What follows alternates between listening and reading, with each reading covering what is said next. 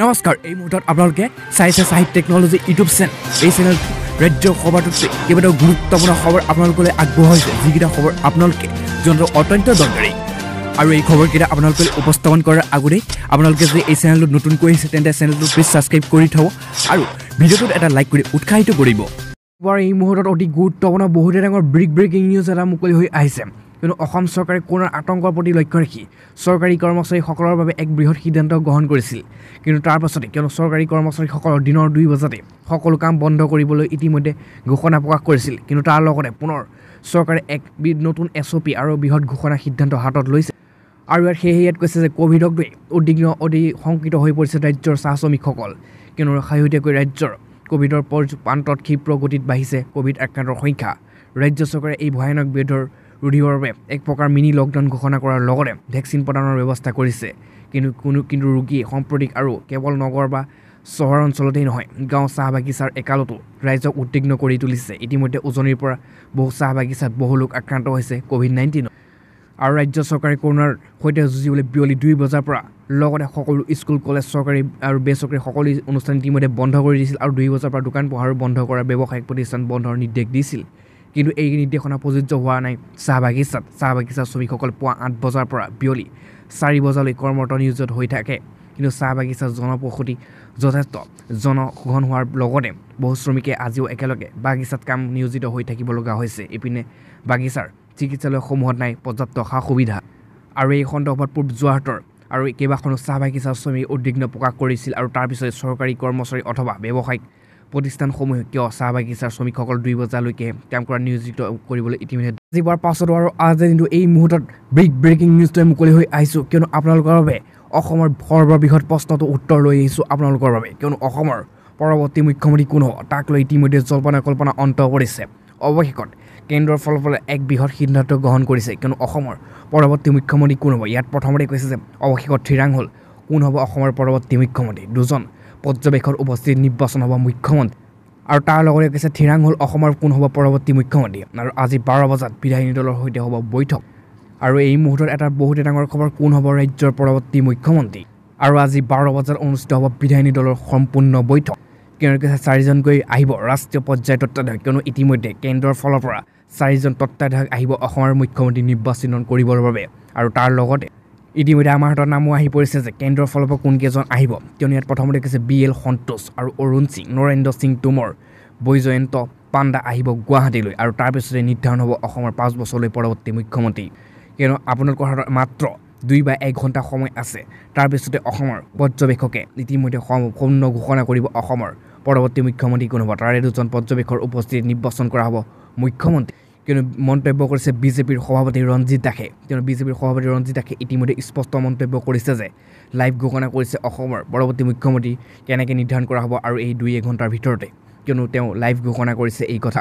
কিয়নো আজি দুই তিনিদিনৰ পৰা ধৰি অসমৰ সকলো জনসাধাৰণৰ মনত এটাই প্ৰশ্ন উত্থাপিত হৈছে যে যিহেতু বিজেপি চুকে একক সংখ্যাগৰিষ্ঠতা লাভ কৰিছে কিন্তু তাৰ ফল কোন হ'ব ৰাজ্যৰ পৰৱৰ্তী মুখ্যমন্ত্ৰী? কিন্তু তাৰ লগতে আপোনালোকক এটা কথা উত্থাপিত কৰি দিওঁ যে বিজেপিৰ হৈ ষাঠিজন বিধায়কৰ ভিত- ভিতৰতে হিমন্ত বিশ্ব শৰ্মাৰ ইতিমধ্যে তিনি শতি- তিনি শতাংশ চাৰি শতাংশৰ ভিতৰত তিনি শতাংশ হিমন্ত বিশ্ব শৰ্মাৰ পক্ষত আছে। আৰু তাৰ পক্ষত হিমন্ত একমাত্ৰ ফালৰ পৰা চূড়ান্ত হৈছে যে অসমৰ পৰৱৰ্তী মুখ্যমন্ত্ৰী হ'ব হিমন্ত। আজি বাৰ পাছত আৰু আজি কিন্তু এই মুহূৰ্তত এটা বহুতেই ডাঙৰ ব্ৰেক ব্ৰেকিং নিউজ মুকলি হৈ আহিছে অসমৰ জনসাধাৰণৰ বাবে এটা বহুতেই ডাঙৰ খবৰ। কিয়নো অৱশেষত অসম চৰকাৰেও হাৰ মানিবলৈ বাধ্য হৈছে। তাৰ লগতে পোন প্ৰথমবাৰৰ বাবে অসম চৰকাৰে এক বৃহৎ সিদ্ধান্ত গ্ৰহণ কৰিছে কিয়নো অসমত হ'ব সম্পূৰ্ণ লকডাউন তাৰ লগতে কৈছে যে ক'ভিডৰ ওপৰত লক্ষ্য ৰাখি ইতিমধ্যে বঙাইগাঁৱত আংশিক ইতিমধ্যে লকডাউন ঘোষণা কৰিছে জিলা প্ৰশাসনে। তাৰ লগতে কৈছে অৱশেষত বঙাইগাঁৱত ঘোষণা হ'ল আংশিক লকডাউন প্ৰতি দেওবাৰে সম্পূৰ্ণ বন্ধ থাকিব। দোকান পোহাৰ ব্যৱসায়িক প্ৰতিষ্ঠান আৰু বজাৰ এলেকা। মাত্ৰ খোলা থাকিব ফাৰ্মাচী হস্পিটেল পশু চিকিৎসা সেৱা। ৰেষ্টুৰেণ্ট বা ধাবা খোলা থাকিব ছয় বজালৈ। অকল হোম ডেলিভাৰী কৰিব পাৰিব। অন্যহাতে হোটেল ৰেষ্টুৰেণ্ট খোলা থাকিব। যদিও অকল হোটেল আৱাসীৰ বাবে খাদ্য যোগান ধৰিব পাৰিব। কিন্তু সেইদৰে খোলা থাকিব। ক'ল্ড ষ্ট'ৰেজ আৰু গাইডেনা আৰু লগতে জিলাখনৰ ভয়ংকৰ হাৰত ক'ভিড আক্ৰান্ত সংখ্যা বৃদ্ধি পোৱাত এই সিদ্ধান্ত গ্ৰহণ কৰিবলৈ অৱশেষত লকডাউন দিবলৈ বাধ্য হৈছে। কিয়নো ডক্টৰ এম এছ লক্ষ্মীপ্ৰিয়ে জানিব দিছে যে আৰু উল্লেখযোগ্য যে জিলাখনত সাতশ দুইগৰাকী ক'ভিড পজিটিভ ধৰাৰ পিছৰ পিছতেই ইতিমধ্যে জিলা উপায়ুক্তগৰাকীয়ে ইতিমধ্যে সমগ্ৰ জিলাখনত লকডাউন ঘোষণা কৰিবলৈ বাধ্য হৈছে। আজিৰ পাছৰ এই মুহূৰ্তত আন এটা বহুতে ডাঙৰ ভয়ংকৰ খবৰ এটা পোহৰলৈ আহিছে। কিন্তু এফালৰ পৰা কৰোণাই কালৰূপ ধাৰণ কৰিছে। তাৰ পিছতে ইতিমধ্যে কৰোণাৰ আক্ৰান্তৰ দ্বিতীয় ঢৌত দুই সপ্তাহত চাৰিগৰাকী বিজেপি বিধায়কৰ মৃত্যু ঘটনা পোহৰলৈ আহিছে।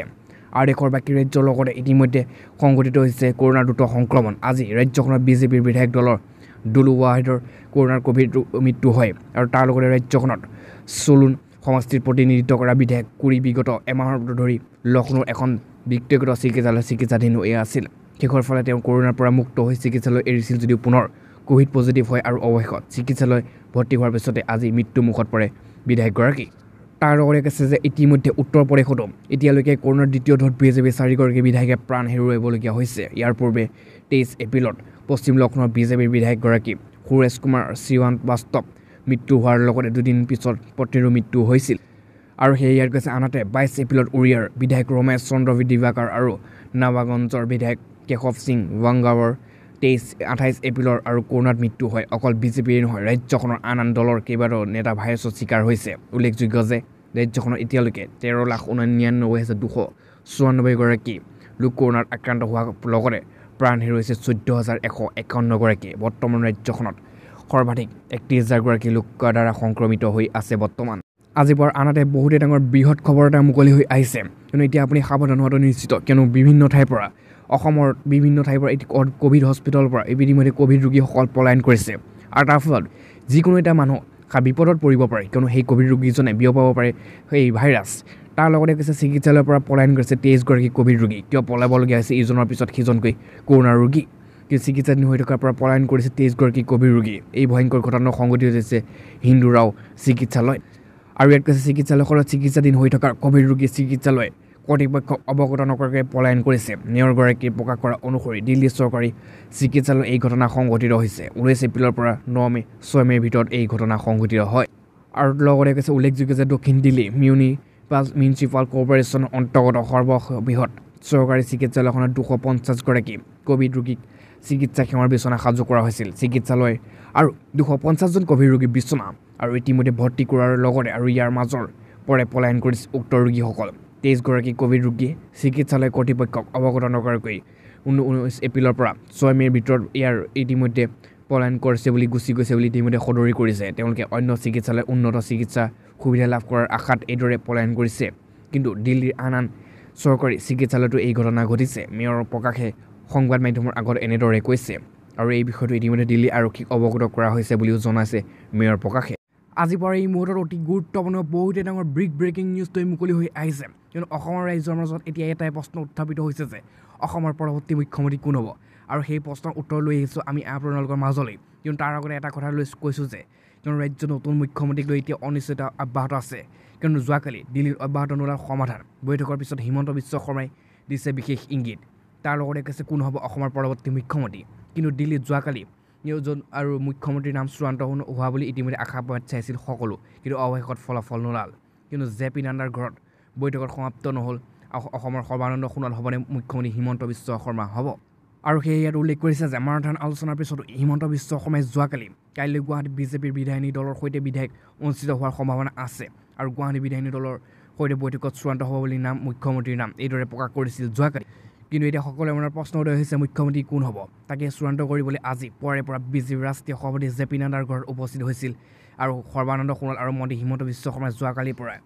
যে দিল্লীত ইতিমধ্যে পৃথকে পৃথকে আলোচনাত দুয়োজনে একেলগে চলিছিল আলোচনা। কিন্তু বৈঠকত আছিল অমিত শ্বাহ বি এল সন্তোষ বৈজয়ন্ত পাণ্ডাও আৰু কিন্তু বিয়লি মুখ্যমন্ত্ৰী কোনো নাম চূড়ান্ত নহ'ল। কিন্তু ইয়াত অতি গুৰুত্বপূৰ্ণ কথাটো কৈছে যে সকলোৱে উৎকণ্ঠা এতিয়া মাজত মাত্ৰ কেইটামান মিনিট বাকী আছে। কিয়নো আজি বিধায়িনী দলৰ বৈঠকত বিজেপিৰ বিধায়কৰ কাক পাতিব মুখ্যমন্ত্ৰী নে বিধায়িনী দলৰ বৈঠকত নাম নামমূত্ৰ অনুষ্ঠানেই হ'ব?